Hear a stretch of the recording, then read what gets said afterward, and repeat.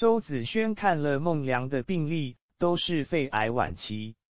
李俊杰遗憾，在孟良死前，自己都不曾真正信任他。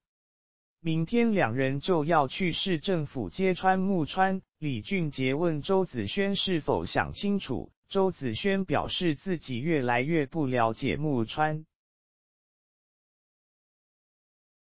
木川一直问周子轩的下落，让江华不要再跟踪周子轩。他不想陈刚和孟良之后，再加上周子轩的名字。木川一直联系不到周子轩，想不到孟良把秘密给谁，不管是他的尸检报告还是衣服，都没什么发现。木川知道自己有麻烦了，他打电话给神秘人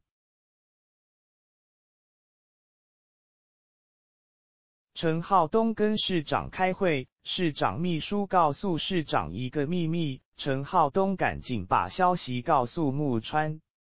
木川很气愤，因为孟良在死前还给他设了圈套。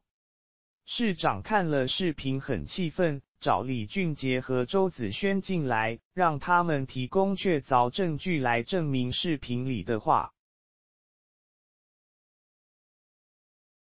李俊杰表示自己知道木川的秘密，必须要打击木川和阮太元，才不会对八成造成危险。市长同意让周子轩继续保护八成，但李俊杰的清白还不能完全证明。只是木川这样的权利，很有可能会一手遮天。木川知道自己情况危险，江华让他避避风头。木川让江华不要单独靠近石云浩，必要时留下人质才有退路。木川单独喊石云浩，让他保护好 VX 三，因为周子轩的父母死因跟这个有关。但不管这个 VX 三交给谁，周子轩失去自己的保护都会有危险。吴探长查清楚了李俊杰的案子，还了他清白，并召集队伍去模式抓捕木川。阿曼达专程从总部赶来，代表总部发表声明，解除了木川在模式的一切职务。吴探长拿出逮捕令，当着周子轩的面给木川铐上手铐。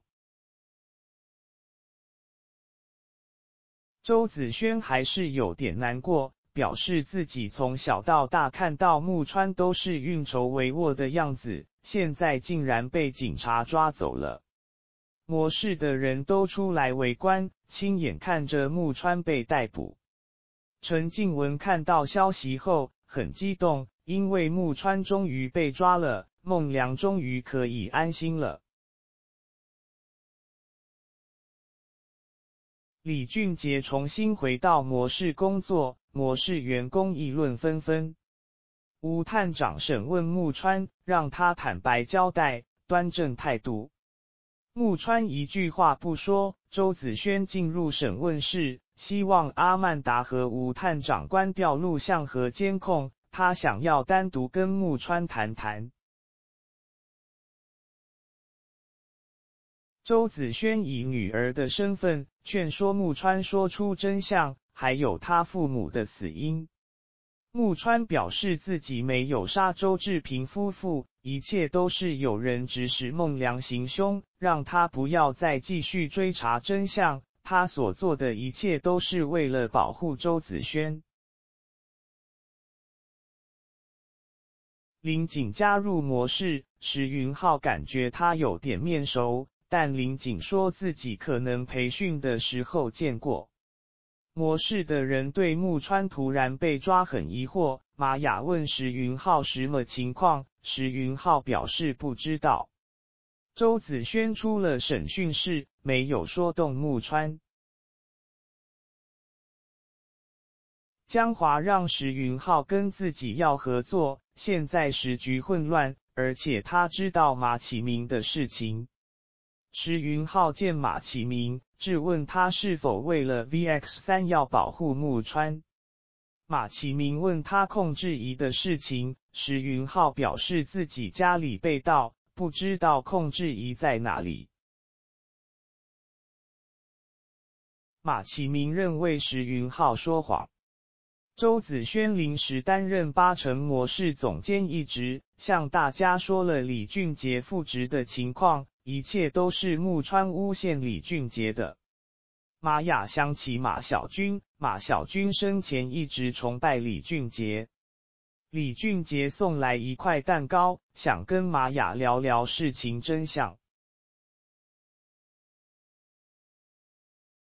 李俊杰还原了当时马小军中枪的经过，表示他因为保护自己而死。